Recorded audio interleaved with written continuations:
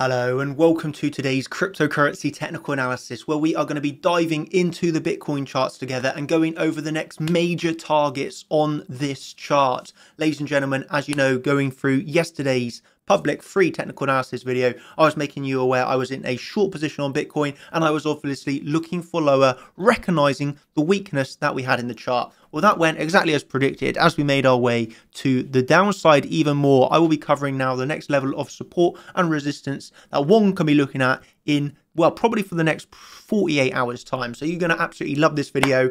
And yeah, let's get into the analysis. So, um, obviously we are in well i'm uh, personally in a short position from that swing failure pattern we all know that swing failure pattern by now it was obviously the top of the range that we had been waiting basically a month for because why were we waiting so long for this? Well, as you kind of know, we had not reached the higher the range since actually the higher the range was put in. So we were waiting a very long time for that short position. And well, we finally got it obviously on the 1st of August start of the month and you know this is this is this put a massive smile on my face not only for the beautiful girl here but because i got to finally finally give the meme of when you short the exact high of bitcoin from the 1st of august. I was looking forward to posting that video and post it i did. And obviously surprise surprise i got it right as we have made quite a substantial move to the downside let me just emphasize, oof, I need to turn this off. Uh, I need to emphasize why this is such a strong downtrend. Ladies and gentlemen, as we can see here, we swing failure patterns the overall high of the range, obviously at 4.30 a.m. And have a guess who was up at 4.30 a.m. for that swing failure pattern. Waking up very early in the day, and we obviously continue the downtrend. If you see this, ladies and gentlemen, it's a continuous lower high, lower low, lower high, lower low, lower high, lower low, lower high, lower low, lower high, lower low, lower high, lower low. This could just be your potential lower high for another lower low. And this downtrend continues. This is very big bearish pressure. Yeah, this is a very big bearish pressure. The market structure is bearish right now as we trade at around $38,550. Okay. So that's where we are trading right now with a downtrend. To, to change to change this downtrend, you'd really want to see, in my opinion, a reclaim of that. You know, it's pretty obvious what's happened here. You have a big forty thousand dollar resistance as you kind of continued with the downtrend yesterday. You got this move to the upside, which topped out at thirty nine thousand nine hundred sixty five. E.g., people playing off that forty thousand dollar resistance obviously coming into a local CC here. If you remember, you had da, da, da, coming into that CC on you know, that $40,000 uh, resistance. That obviously held up pretty well overnight, and we have continued the downtrend up to your level of support. Before I cover the next major support that I see on this Bitcoin chart, I just want to show you this Oh, this this this for me makes me just smile. It just makes me very happy as a person that loves technical analysis. Uh, you are gonna absolutely love this section of the video, I want to cover something with Eagle Time uh, before we get into what's happening here right now. And Eagle Time, for the people that don't know, is it's basically you have four sections on the chart and you have your four profiles in the chart and uh, each of these pivots, you're expecting a major move. And yesterday was just the most perfect, perfect, perfect example of it. As um, we obviously had a bounce earlier in the day, which was this bounce here. This bounce here we had going underway, where we obviously, it was technically perfect because we come up into all of our resistance. You see this massive confluence of resistance that you came into. So you came into all of that resistance, and obviously you did head down again. So that was pretty nice in itself. But what I had recognized earlier, this was obviously yesterday, and this is where you have to think. Think to yourself, how would you trade this? Because that's why you're here to learn. How would you trade this? If you see you're at support, and I think many people would have agreed at the time, this was, you know, people were looking at this as a support zone, no? We're like, oh, yeah, this is really nice support. Uh, so you have to think to yourself, how would you trade this? You see a lot of longs opening at support what would be your thought process? Would your thought process be, this is really bullish. We are seeing a nice increase in open interest. We are seeing a lot of longs open at support. That's what you might want to see now. And this is where, you know, you, you give people even if they've learned exactly how I've learned, let's say, the difference that separates us all is the brain, no? The, the, the, brain and the thinking power and thinking exactly as a market maker is going to think. And my opinion yesterday was I actually want to see all these longs stopped out. I want to see lower on the Bitcoin chart because we are seeing multi millions, hundreds and millions of longs opening here and I want to get them stopped out. I'm looking for lower. I go on to expand. In 40 minutes time, we have eagle time. Isn't this the most perfect time to see lower? Eagle time with absolutely wrecking the longs. And obviously that went exactly as predicted, as basically 40 minutes later, we had the lovely move to the downside, bouncing off the NSPOC. It was extremely technical day. And yeah, if, if you if you want to see magic on the Bitcoin chart, it's recognizing wow, this guy has the best brain in crypto trading right now, recognizing that was likely to lead to downsides, which I don't think many people would have. Uh, but hey, and then not only recognizing the direction of the move, but also the time it was going to happen. That's Eagle time, ladies and gentlemen. And uh, I will say this if you want to learn about Eagle time, we have the contender stream tomorrow. Tomorrow is the Eagle time contender stream. If you want to learn about that, you can sign up obviously at chartchampions.com. I'll be going the ins and outs, and you can learn all about that tomorrow in the contender stream. Very much looking forward to it as we get back to the Bitcoin chart now. So, obviously, yeah, we had that lovely bit of eagle time and we saw a move to the downside. You might be like, well, okay then, Daniel, fair enough. Where, where, what happened next?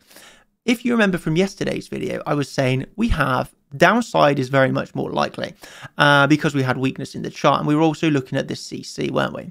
And you can see we came down to the CC and bounced off of it here around 9, 10 p.m. Okay, we were bouncing off the CC. And I said very clearly to my team, okay, this is the last post I will show you, that personally I am not going to long at the moment. Again, that was around nine. I'm not going to long at the moment, really simply because of the fact we still had a lot of bearish divergences. This just felt like to me unlikely that we're going to get a bounce. Uh, e.g., I'm not going to long it yet. And well, what a decision again. As we come down lower overnight, where did we come down to? Ooh, Daniel's been waiting for this level now for, for four days. Uh, the level of 37,900. 37,900. What was this, you might ask? Well, this is really simply taking the lows. Yeah. So we took the lows down here. And obviously, we're getting a bit of a bounce underway. So naturally, yeah, I do think this was a nice scalp long position, to be honest with you. What we have to remember, though, is when I'm not going to get overly excited. Yes, I do think, acknowledge this was a nice scalp long position. You know, I totally do. But I also recognize I'm still holding my short position, which I've actually compounded, by the way. So I've got that, that I originally shorted here and I've shorted uh, actually down here. So this has given me a bit of more of an average entry now. So it's obviously brought down my average entry. But nevertheless, I am still going to maintain that short position even though I've taken a scalp long because well I just totally acknowledge we can just continue this downtrend and it's like yeah it's worth the scalp long but I'm not I'm not feeling anything majorly bullish here to be honest with you I yeah I mean it was a, it was a trade that I had to take but I'm I'm really not I'm not. Let's just say I'm not too optimistic currently. Um, I'm really not that optimistic. Should we just take a really quick look at what's happening down here now? So, I mean, you have some you have some small term time frame bearish divergences happening here. This can be invalidated pretty easily. Remember, but. Um, uh, you have a, I mean, you have a lot of longs opening again. Yeah, I mean, I am in a, I am in the scalp long, but I'm not massively optimistic. You, you can see you're actually getting quite a lot of buying pressure. So as soon as you hit the low, you had almost, you know, here 19 million, 14 million, you just saw 17 million. Uh, so, you know, you are seeing a lot of longs open here, but it's not, you have to think, you know, where's price trying to go here? And, and is it doing a good job of getting there? Well, currently not really, is it? Uh, I think we can start to say uh, we could have a little bit more confidence if we can come back at least into this back above that old 618. That would be very nice. So that would be getting really back above $39,000. Now, we might have a little bit more confidence that that, that scalp can turn into maybe a bit more of a day trade. Um, yeah, I, I, think that's the way that, well, that is the way I'm approaching it. That is the way I'm approaching it. Uh, so I think that we can really say in the intraday, we have a pretty big resistance, $40,000. Now that, that's our current resistance. And that would obviously change this local downtrend. We get back above some major levels of support resistance and back above a point of control. So I think 40k is a pretty level to reclaim. Um, you know, for the time being, though, yes, I and this is where, you know, I, I think I might do a video on this because I still think people are confused by it. But I'm, I'm more than happy to have that scalp long position here because there is obviously the potential that we do get at least a bit of a move up from here, a little bit more of a short squeeze, let's say.